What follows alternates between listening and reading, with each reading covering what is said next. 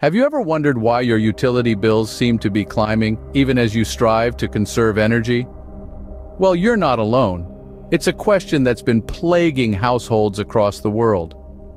Today, we're going to unpack the concept of rising utility costs, what they mean for you, and why they seem to be on an unending upward trajectory.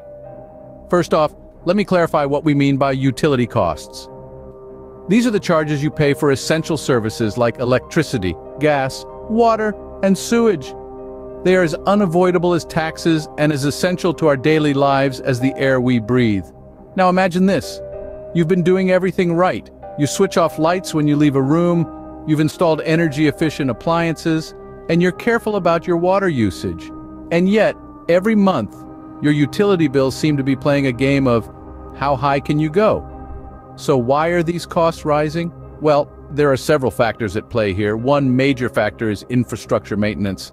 The infrastructure that delivers these utilities to your home isn't free. The pipes, wires, and systems need regular maintenance and occasional upgrades to keep them running smoothly. This upkeep costs money, and these costs are passed down to the consumer. That's you and me. Another factor is inflation. Like everything else, the cost of producing and delivering utilities goes up over time. As the cost of raw materials, labor, and other inputs rises, so does the cost of the utilities they produce. And then there's the issue of supply and demand. As our population grows and our consumption increases, the demand for these utilities goes up. And when demand goes up, so does the price. So as we can see, rising utility costs are a complex issue with multiple contributing factors. Understanding these factors is the first step in navigating this challenging landscape and finding ways to manage and potentially reduce these costs. Now, how about when the government steps in to stimulate the economy? Does it really help the average citizen? Economic stimulus, a term that's been thrown around a lot lately, is essentially a set of measures implemented by the government to encourage spending and economic growth. It's like a shot of adrenaline into the heart of the economy.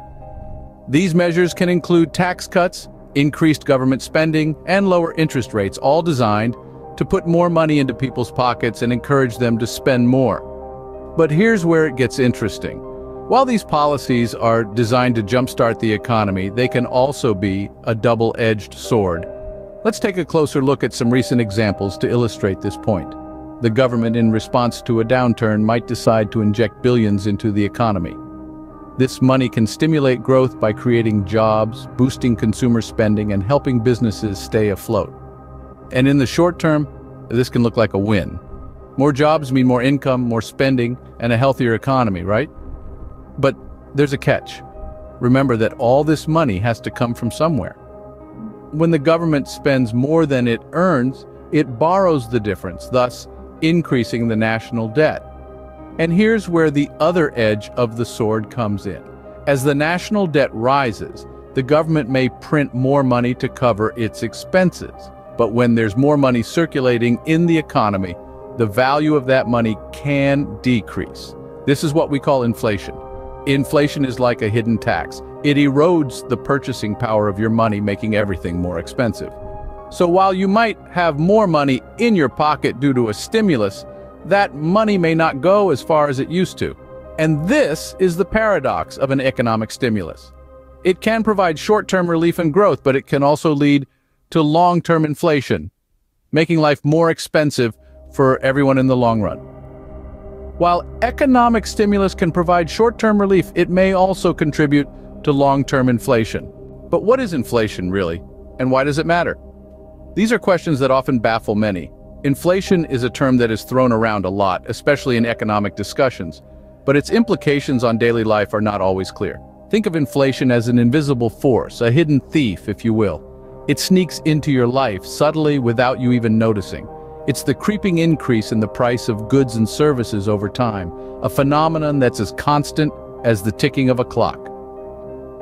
Imagine buying a loaf of bread today for $2 and then a year on, that same loaf costs you $2.20. That's inflation at work. It's the subtle increase you see in the price of your morning coffee, your monthly rent, or the cost of your favorite book. Now why should you be concerned? Well, inflation affects your purchasing power. If your income stays the same while prices rise, you can buy less with the same amount of money.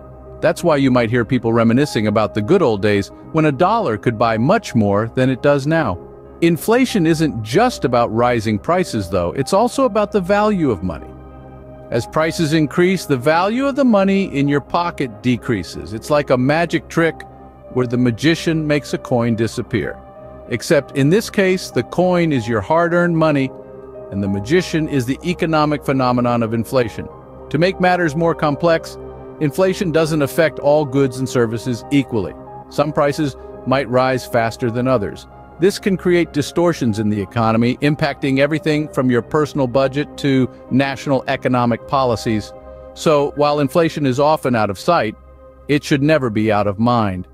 It's a silent, stealthy thief, gradually eroding the value of your money, changing the way you live and spend.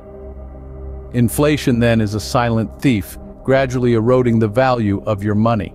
But who really feels the pinch of these rising costs? Is it everyone or just some of us? Well, let's dive into the concept of income inequality and how it's widening the gap between different income groups. Picture this. You're at a dinner party where the pie is divided unequally. Some get a hefty slice while others barely get a crumb. This, my friends, is a simple representation of income inequality. The pie symbolizes our nation's wealth, and the slices are the shares of that wealth. In the last few decades, the wealth gap has grown significantly. The affluent are becoming more affluent, while those at the bottom are struggling to keep up. This disparity in income and wealth means that the burden of rising utility costs, healthcare, and other living expenses is not shared equally. Here's a sobering fact. The wealthiest 10% of Americans hold over three-quarters of the nation's wealth, while the bottom half of the population owns less than 2%. This is not merely a result of different work ethics or levels of ambition. There are systemic issues at play here, including wage stagnation, unequal access to education, and regressive tax policies. Low-income families and individuals often spend a larger portion of their income on basic necessities like utilities and food. When prices increase, these individuals feel the pinch more acutely. A few extra dollars on the electricity bill or at the grocery store might not seem like much to some, but for families living paycheck to paycheck, it can be the difference between having a meal and going hungry. Furthermore, the economic stimulus measures, while necessary, have contributed to inflation, which further exacerbates this problem. The cost of living is going up, but wages, they're not keeping pace. This growing divide is not just an economic issue, it affects our society at its core. It creates a cycle of poverty that's hard to break, it limits social mobility, and it leads to a sense of disillusionment and frustration among those who are left behind. Income inequality, therefore, is not just an economic issue, but a social one as well. And so, how do all these factors, rising utility costs, economic stimulus, inflation, and income inequality, come together? Well, let's start by imagining our economy as a grand orchestra, each instrument playing its own tune, but together creating a symphony. Rising utility costs are like the drums, setting a steady, unavoidable beat. They are the constant expenses that keep increasing, the rhythm that every household, every business must march to. Economic stimulus, on the other hand, is like the trumpet, loud and immediate. It's the government's way of injecting money into the economy of trying to keep the music playing when things start to slow down.